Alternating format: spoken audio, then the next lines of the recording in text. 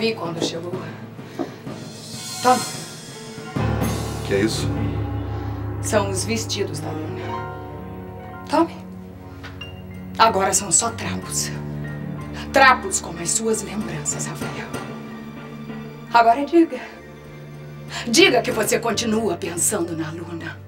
Eu vou arrancar a Luna da tua vida, Rafael. A Luna e a Serena. Eu não mereço ser desprezada dessa forma. Vamos, não vai dizer nada? Tem medo de mim?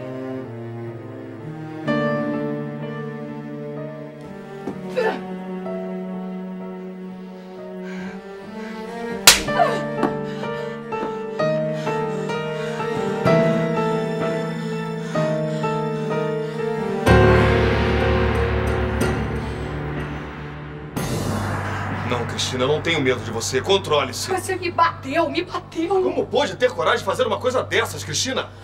Como pode querer lutar com alguém que já morreu? Eu é que pergunto, como pode ter me batido? Estava completamente descontrolada, Cristina. Ora, sabe que eu odeio violência, mas tinha que voltar a si. Minha vontade é de acabar com tudo aquilo agora mesmo. Larga essa tesoura, Cristina.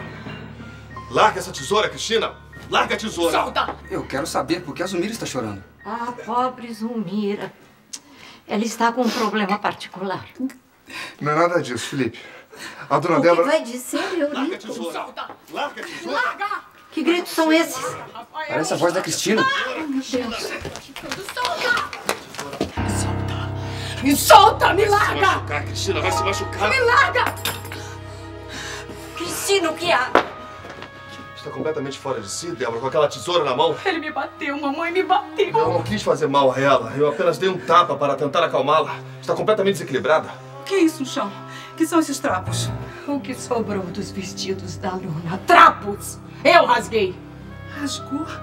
A senhora rasgou os vestidos da dona Luna? Rasguei, já devia ter rasgado muito antes. A Zulmira vai pegar a vassoura. Varre e jogue tudo no lixo. Não. No lixo, não. Pai. Pai. Pai. Só apenas trapos agora. Ah, Rafael, eu bem que avisei. Agora não, Débora. Depois falaremos.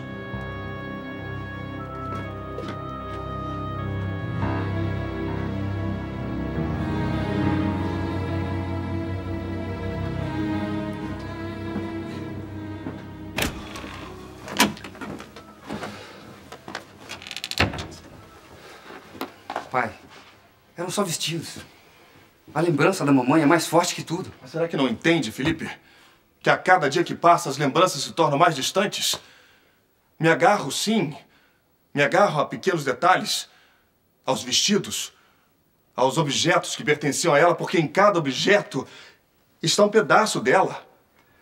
Eu não concordo com a atitude da Cristina. Mas talvez seja até bom. É bom. Então acha bom que acabem com as lembranças da sua mãe. O senhor está com raiva da Cristina e tem motivos. Mas foram essas lembranças. Foi o seu apego pela memória da mamãe que o impediu de se entregar a Serena. É, de se entregar inteiramente. Mas do que você está falando, Felipe? Do que o senhor já sabe. A própria Serena lhe disse que seria infeliz enquanto o senhor continuasse olhando para ela e procurando a mamãe. Ela pode ter a mesma alma, mas é outra pessoa. Felipe, pra mim, a sua mãe e a Serena são a mesma pessoa. Mas não são, pai. Não são.